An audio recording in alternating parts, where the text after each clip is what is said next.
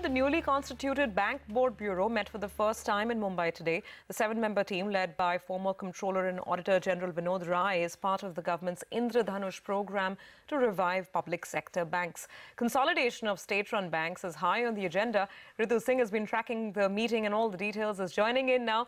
Ritu, closed-door meeting. Uh, I mean, what are the key takeaways that you've picked up, and can we expect any quick movement on consolidation?